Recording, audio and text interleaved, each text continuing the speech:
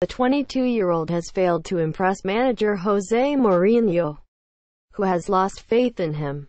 Ashley Young has been the Portuguese coach's preferred left-back and the club are expected to spend big in the summer to find a replacement. And it means that the former Southampton star's unhappy time at Old Trafford could well be coming to an end. But, according to The Sun, Barca have made the youngster a priority signing in the summer.